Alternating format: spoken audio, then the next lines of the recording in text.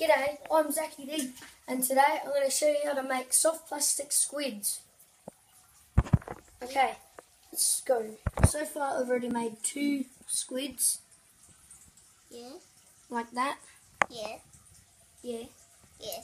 and these would be good for snapper Yeah. and other fish like that. I don't even know what I'm talking about. Anyway, yeah. So first I'm going to show you how to make the mold. So, yeah. So what you're going to need to start off with is a knife for making the mold, a little screw so you can dig out the little channels, big blob of Play-Doh, and a swim bait lure. Okay, Right. so now I'm going to show you how to make the mold. So firstly, you're going to have to get the big blob of Play-Doh, Yeah. smack it on the ground. Rory, be quiet please. And then you're going to have to push it out. So you've got a flat surface to work on and just flip it over. Like that. Now what we need to do is get this fishing lure and we need to chop the head off about there to make the head of the squid. So just move this out of the way. So we need to cut it there. Like that. Yeah. That'll be the head of the squid. I could have done it a bit bigger, but anyway, that'll have to do. Secondly, oh, whoops, just have to flatten this out again. Now I've got to push this, the soft plastic thing, into the Play-Doh to create the head, like that. And then get the knife, stab it in the back and pull it out. And now we need to make the channel, so hold your knife like a pencil sort of thing, and then drag it through so we can make the tentacles.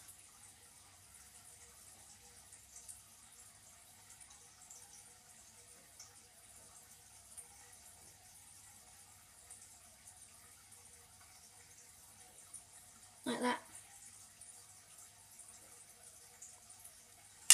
And then, That's like an octopus. yeah, it is. Yeah. And then after that, just to clean out the channels, get the screw and go around, make all the edges nice and round, like that. And make sure the soft plastic resin can get through to all of the thingos. Like that. That's the basic mould. And then when we pour all that in there, it should flow into all these other channels, create tentacles. So now I'm going to show you what I'm using to melt and pour. So I've melted down some soft plastic, broken soft plastic fishing lures and molded them into little ingots.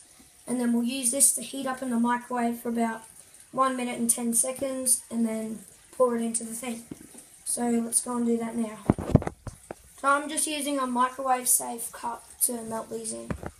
Now all we're going to do is just stick this in the microwave for 1 minute and 10 seconds.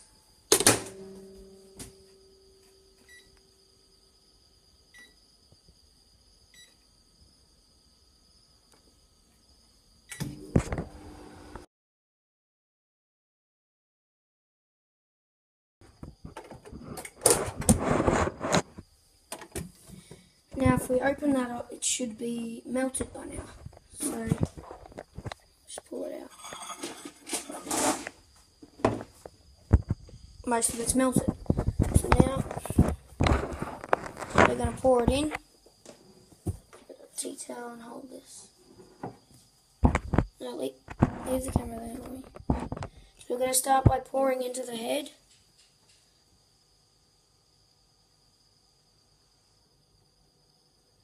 And then going down the tentacles. It doesn't matter if you spill any, because you can clean it up with scissors later. There's some on the Play-Doh. So hopefully this squid will turn out to look pretty cool.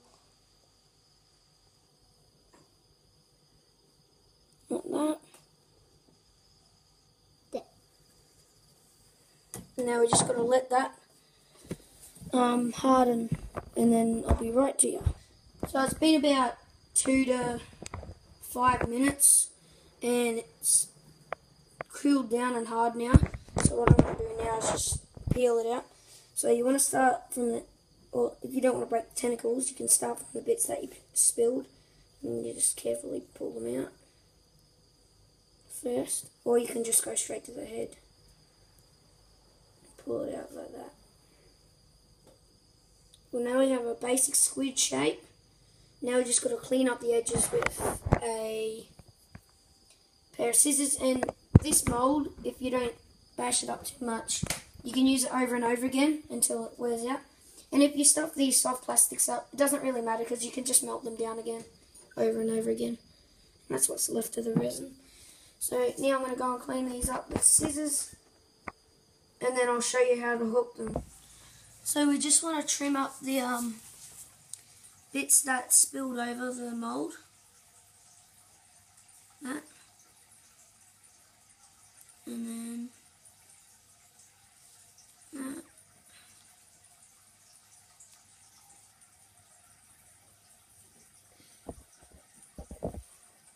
Don't cut your head off the squid. I won't.